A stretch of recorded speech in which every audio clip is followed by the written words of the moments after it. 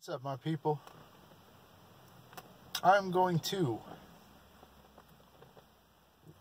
do the ignition lock death challenge where I smoke a cigarette until I can't fucking open my eyes anymore in a closed vehicle in the heat, and then I see if I could get the ignition lock picked before I die.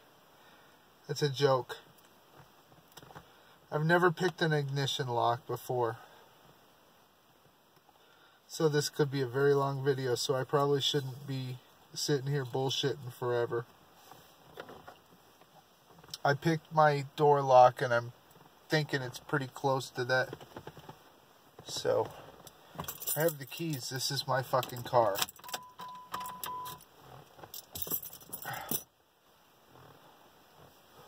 Let's tension wrench it with this piece of shit. I don't want to go too far in with it. So I could see the wafer right there. What the fuck? I can't see it in my door. Um, using the simple, like, simplest pick that I could fucking use. Where's the, where's the camera? Boom, it's just this. It's really, there's, like, I don't know whether to start at the top or the bottom. I guess I'll start at the bottom. It's beeping like, it's saying key and ignition. Hear that? So I'm going to try to rock this biatch. I don't know what I'm doing. I, I haven't really had any training in this, and I'm just kind of feeling. I feel that. Let's do that. Let's go to the top for a minute. Oh yeah. Feeling something juicy right there.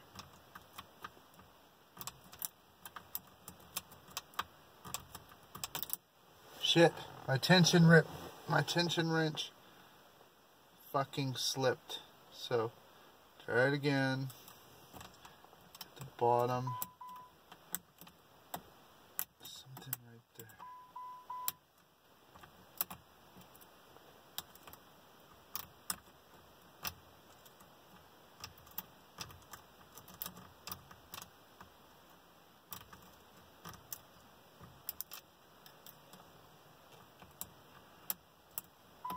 Gotta be this bottom one.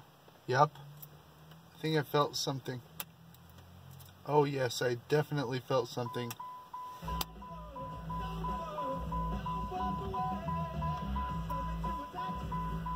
Welcome to my new key.